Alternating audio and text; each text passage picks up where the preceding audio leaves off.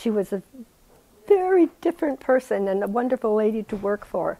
But I was just very lucky that I got into the company because at the audition, on my variation, it was up in a room and the floor was very slippery, and naturally I fell down.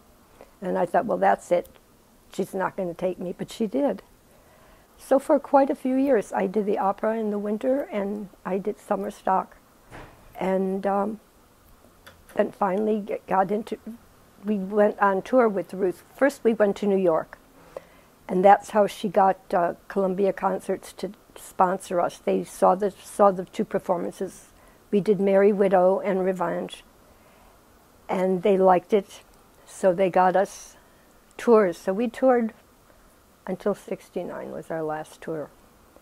So that was wonderful, and I got good experience from her too because she let some of us, even though we weren't principals yet, when she would start choreographing, and I was around usually, she would work out some things on us. And it was really nice to be able to have things worked out, even though you knew you weren't going to do it. But eventually, because of that, I did get to do some things. And at one point, um, I did do Michaela and Carmen. She did for me, which was very suitable because that's the way I like to dance. It was very lyrical. But the second year, uh, Sonia Arova was going to come, but something happened in the beginning, and Ruth said, "Well, Sonia can't come for the first two weeks. Why? don't, You're her understudy. Learn the role." Well, well, when it came time and she she wasn't there yet, Ruth said, you don't have to do it, darling, if you don't want to. And I said, I work really hard at this, and I really, really want to try to do it. And after I did, her husband said, Oh, she's Carmen of the Legs. So Ruth let me keep doing it, which made me very happy. So I got to do both parts in Carmen. Merry Widow was really the most fun to do.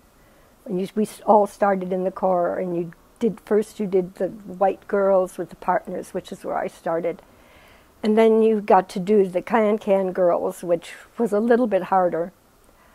And then if you were really lucky, which I got to do Madame Popoff, I got to do that quite a few times, which was a lot of fun.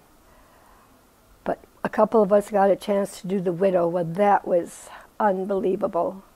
But it was like for one year, and then they dropped it because we had done it so long.